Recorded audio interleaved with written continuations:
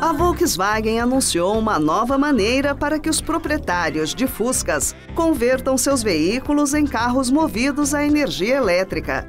A montadora vai disponibilizar todas as peças para modificação e uma empresa alemã chamada e-Classic será responsável pela modernização do motor.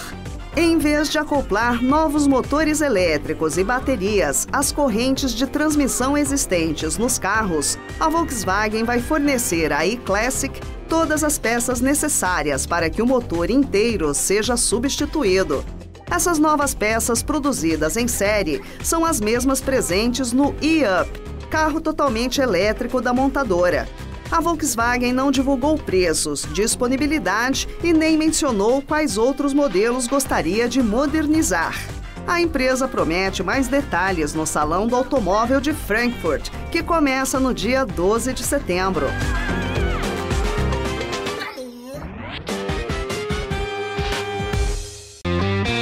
HostGator, seu site sempre no ar.